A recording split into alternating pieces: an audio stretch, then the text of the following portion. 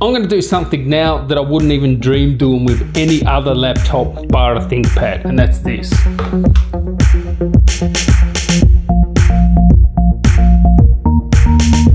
Alright champs, let's get rid of Windows Home and let's get some Windows Pro. Copy and paste my code from the description, new codes, new discount. You can get Windows Professional, Office, paste my code. Boom, it's Windows Pro time. Alright, if you're new around here, come on, get on the Woo train, sub up, and if you like these videos, you know what to do. And people that have been missing my videos, make sure you click that bell icon. So this is the ultimate ThinkPad X buyer's guide. Which is the best for you? I'm going to be talking about the three Rolls Royces in their lineup. Lenovo's best laptops they make. Well, certainly if we talk about the X1 Carbon, that is their absolute Rolls Rolls Royce. That is the laptop they're known for best, but I will be comparing it to the other models. There are other ThinkPads, but the X1 is their thin, light, premium ones. So today we're going to have a look at the X1 Carbon, which is a 14 inch Ultrabook, the X1 Yoga, which is a 14 inch 2-in-1, and the X1 Extreme, which is their 15 inch XPS 15 MacBook Pro competitor, you know, premium 15 inch powerhouse. Now they also have an X280 and an X380, which are just smaller versions of the Carbon and the Yoga. So I'm not going to include those. But when it comes to ThinkPads, they are legendary. If you don't know, all the ThinkPads have that little red nipple in the middle. That's how you know it's a ThinkPad straight away. They're usually black they should always be black. You should never buy a yellow Ferrari. It should always be red. That's the same with ThinkPads. They should always be black. When I used to work at a company that used to lease out computers, so we used to lease out Macs and PCs, ThinkPad is the king. Everybody wanted ThinkPads because they can be managed in big fleets, etc. They have all those dock features, all those IT features professionals want like, you know, Wake on LAN, all that sort of stuff to manage multiple computers. That's where they excel. And that's why they sort of look black and they sort of look business-like. You know, they're no nonsense. But the X series, you know, made out of carbon fiber. Man, it doesn't get more exotic than that. And they're built friggin' tough. I mean, they're probably the toughest computers. If you talk about their ThinkPad lineup, they can be bashed and crashed. They're made for this. Even when you had spinning hard drives in it, these are the ones you could bash and crash the most and it wouldn't kill your hard drive. And it has to be because they're used on the road by road warriors. So anyway, let's get into comparison. So I'm going to just talk about the 15 inch Extreme. You know if you need this. You're video editor, content creator, you know, someone that likes to game on the side, someone that needs 3D power. This is what you get. Has a dedicated GTX 1050 Ti and a 6 core 45 watt CPU. So it is a powerhouse compared to the XPS 15 compared to the MacBook Pro. This is what you need if you need the power and the big screen. This is what I would probably buy. It is bigger, it is heavier. That being said, it's probably one of the lightest 15 inch laptops going around actually. It weighs just a whisker heavier than the MacBook Pro, which is pretty much the lightest one. It's like four pounds. Awesome 4K display you can get, you know, 100% Adobe RGB. Great keyboard, best keyboard in the class. Also a good trackpad. All the ports you want, Thunderbolt, everything. So if you need that power, this is the ThinkPad to get. But not everyone needs that, right? And this is sort of new to their lineup. But not everyone needs that power, and if you do need that power, you will know. Just get that one. Some people want thinner, lighter, they need for productivity, you know, light video editing, you know, Photoshop, stuff like that. And that's where the X1 Carbon and the X1 Yoga come in. These are both 14 inch premium Ultrabooks. The Yoga, as the name suggests, is the more versatile one. It is a little bit heavier, but it does all the two-in-one tricks. And the X1 Carbon is just the duck's nuts. It is the Rolls Royce of their lineup. It's the one they've iterated the most. It is their most polished product. So let's go in for a closer look between these two. Which one's for you? When it comes to design, they're not going to win any design awards, although they look pretty neat and tidy. That sort of matte black finish. They're very black, nice soft touch.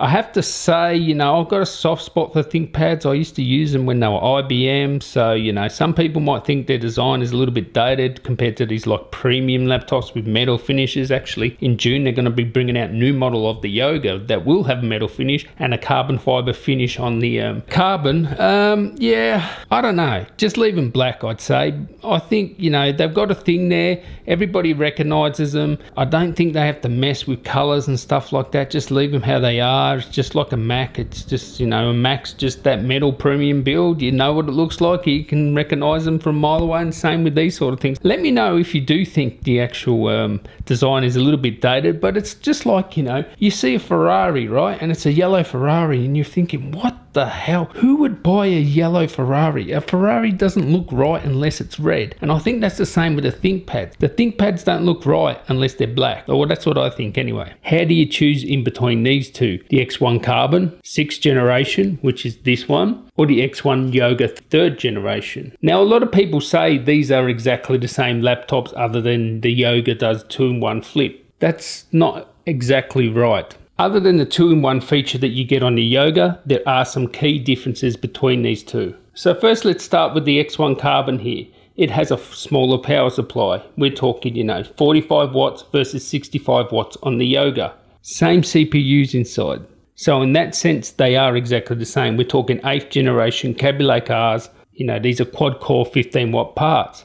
But because this has a 65 watt power supply, this one goes harder for longer. So for performance, this one is better. You can also see the footprint difference. Have a look here. You can see how much taller the Yoga is.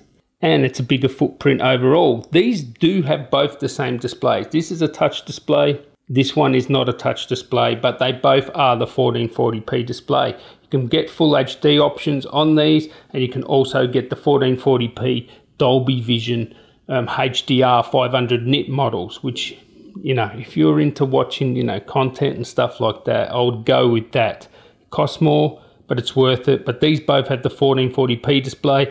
I assume they are the same panel, just this one is touch and glossy, this one is matte. So when it comes to keyboard and trackpad, this is the god. This has a better trackpad than this one, the Yoga, and it has a better keyboard. In fact, this is the best keyboard I've used on a laptop, period. It's one of the best trackpads, not the best. Probably the Surface Book 2 would be better, and maybe XPS 15. This one here, good keyboard, one of the better keyboards. I would say it's probably the second best keyboard I've used but the trackpad is not as good as this. Um, yeah, it's a little bit behind this one. They feel different. The keyboard definitely feels different. Now, this is the Rolls Royce. The ThinkPad is the Rolls Royce, the X1 Carbon. It's on the sixth generation. It's the GOAT of ThinkPads. Now, of course, the Yoga has some tricks, right? The Yoga can do this. And you'll see here, when I fold like that, the keys go in. The keys go in so the keys don't rattle around. When you unfold it, the keys come out. And you'll be able to use them like that. Now, this is probably why the keyboard isn't as good as that. I wish it sort of had the same keyboard, but I guess it can't sort of do those things. Now this one can lay flat, you know, all ThinkPads, but this one can flip completely over. And yeah, of course you can use it in tent mode, you know, presentation mode. There's all sorts of modes there. And yeah, the keys are disabled now. So you can see there the difference in footprint between the two you know, this one's taller here and, you know, it's a bit wider and it is thicker and heavier. So we're talking the Yoga is 1.4 kilos or 3 pounds, just over 3 pounds, 3.08 pounds, 17 millimeters thick compared to the X1 Carbon, which is 16 millimeters thick and 2.41 pounds and 1.13 kilos. The difference is noticeable. I will say you can notice the difference between the two. Now, of course, this being a Yoga 2, we also do get an active pen, which means, you know, it charges with battery and it charges inside the case there. And we do get a pen there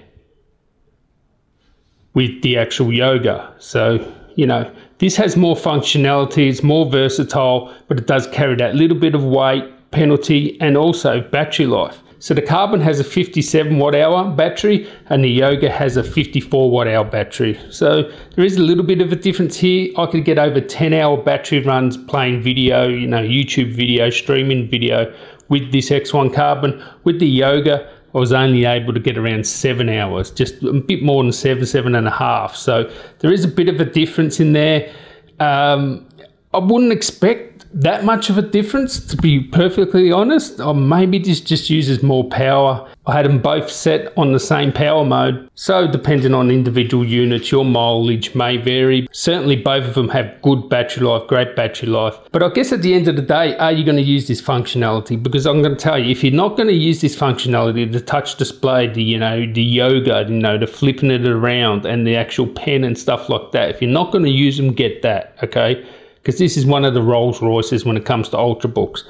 It's hard to get better than that. So light, so tough. All Lenovo's are tough. They're built for business. They are built for toughness. They're probably one of the toughest laptops. They're going to be durable. They're going to last a long time. Now, Lenovo support can be hit and miss in my experience. I haven't had a great experience with Lenovo support, but um, that's just my experience. Some people say it's really great. I can only tell you what I've had. I'm going to do something now that I wouldn't even dream doing with any other laptop bar a ThinkPad, and that's this.